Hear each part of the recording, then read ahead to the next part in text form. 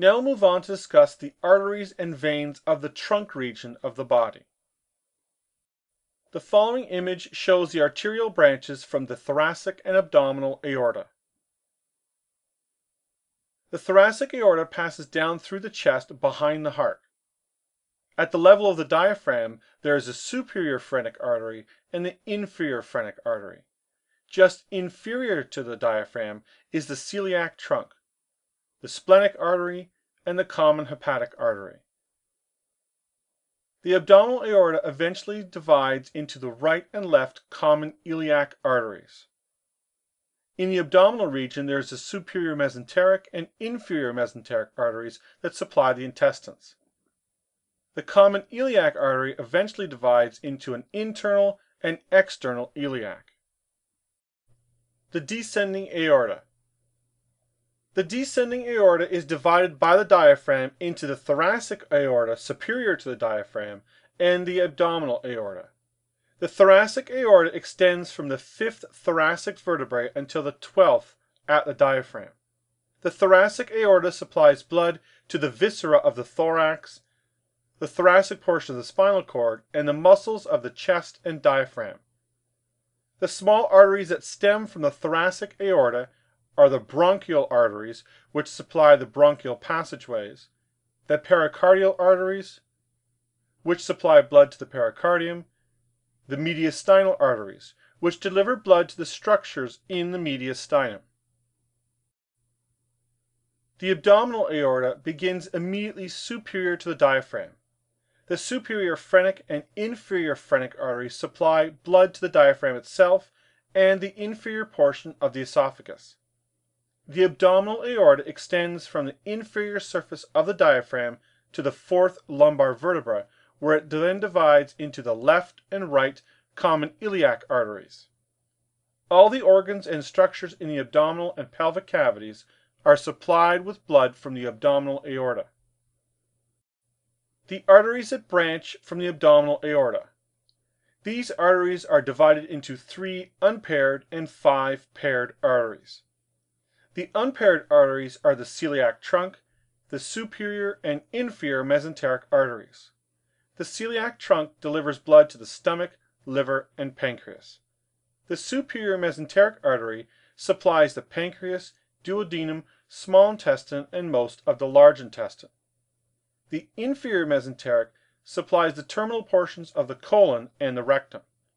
There are five pairs of arteries: the inferior phrenic, the suprarenal arteries, which supply the suprarenal glands on top of the kidneys, the renal arteries, which arise along the posterior lateral surface of the abdominal aorta, and supply the kidneys, the gonadal arteries, these supply blood to the testes and scrotum in male, and the ovaries and the uterus in the female, and the lumbar arteries.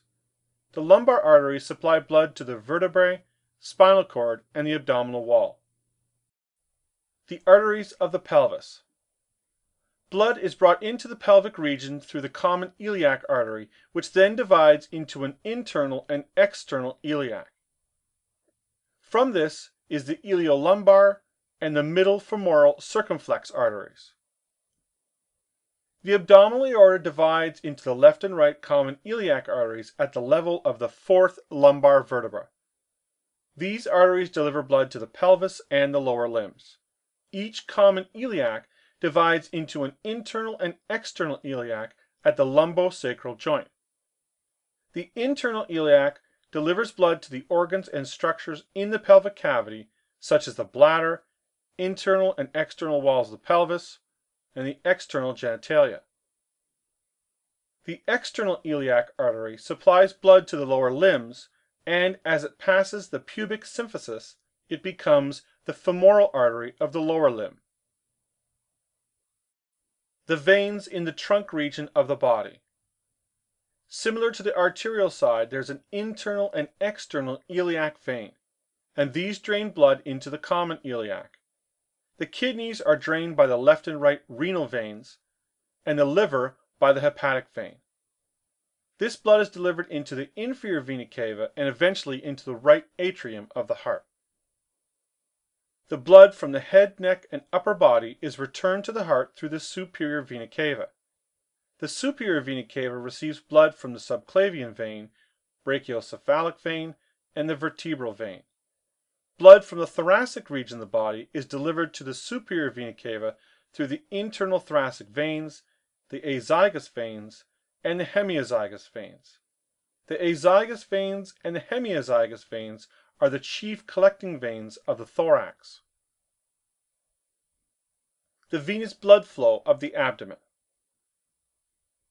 Blood returning to the heart from the lower limbs is drained into the left and right common iliac veins. The left and right internal iliac veins also drain the blood from the pelvic muscles and reproductive organs into these veins. The other tributaries of vessels that deliver venous blood to the inferior vena cava and eventually the right atrium include: number 1. The renals, which deliver blood from the kidneys; number 2. The suprarenals, which drain the suprarenal glands; number 3. The phrenics, which drain the diaphragm; number 4. The lumbars, which drain the spinal cord and body wall; number 5. The gonadal veins, which drain the testes or ovaries; and number 6. The hepatics, which collect blood from the liver.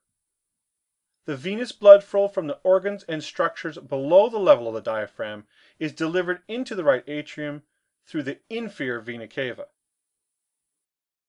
During digestion and absorption, blood with nutrients is delivered from the intestines to the liver for processing. The hepatic portal system includes the left colic, the splenic and the inferior mesenteric on the left side of the body, and the superior mesenteric and right colic on the right.